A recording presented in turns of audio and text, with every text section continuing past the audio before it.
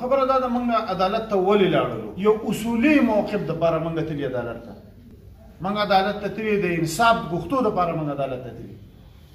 موږ تللی چې دې ځکه دا د سیستم چې کوم مات شوی دی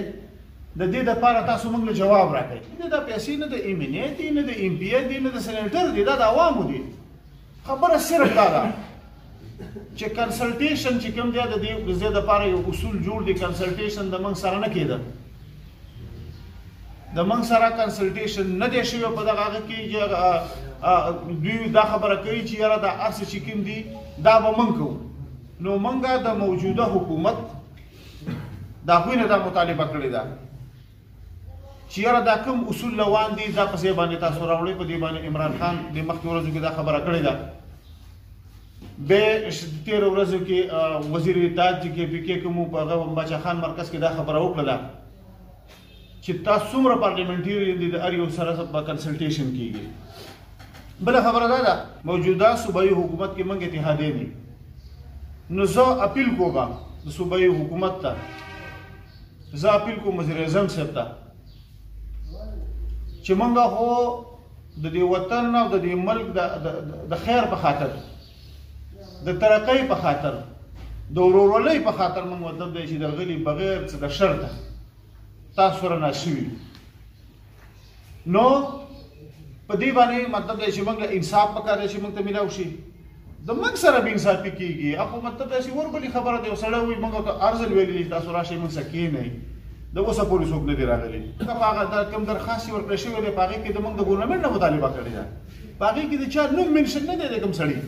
پاره کې اصول منشن نشي مطلب دا چې ای ډی پی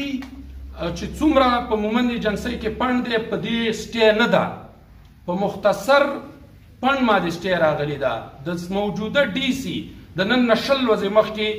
په دغه جرګه حال کې ستاسو په مخ کې د ټول صحافیانو په مخ کې هغه دا ویلي چې ستر فیصد کارونه شروع دي او تیس فیصد کې معمولی خبرې دي اب هم زر حل شي نو په ټوله سټې نه ده نه په یونیسټو سټې ده نه په پلاندرې سیند پر اړولو سټې ده نه په هسپتالونو سټې ده نه په مومنټ ډیم سټې ده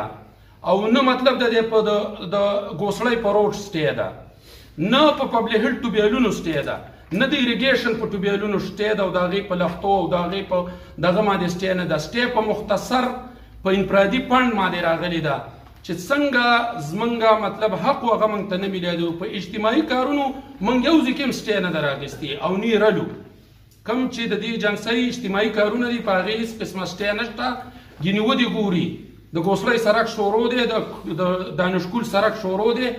بل ټینډر وشو د پیر قلا نه د منډی پوری په هغه او مومنډې مادیم سټې نشته دی سټې صرف په هغه کارونو ده چې په هغه کې زمنګ حق دی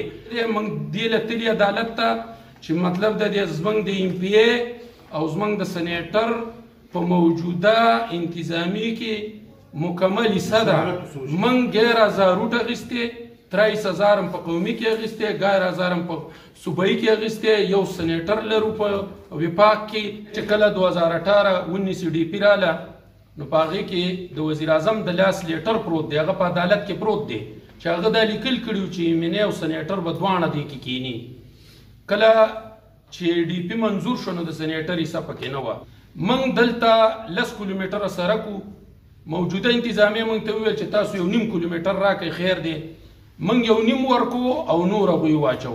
کله چې هغه لیټر دغه ته لاړې پېښور ته نو زمونږ سرک پکې نه وو کیلومتر موږ مجبورا هغه ټولې لیټر راواغستې او د امپیا د طرفه عدالت ته لاړو